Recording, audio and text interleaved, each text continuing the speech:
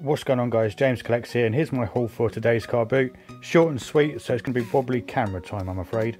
Um, we've got some Sun and Moon packs, five in total, paid £2 each, worth £4 each, so spent £10, easily worth 20 and we've got a Leonardo Fabrikation from Funko. Um, a lot better condition than the Donatello that I got, but he won't be as lonely now.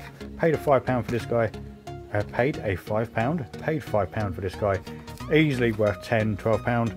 Um, so a good money doubling day, um, nothing too spectacular, Very short and sweet. Um, I'll see you guys soon.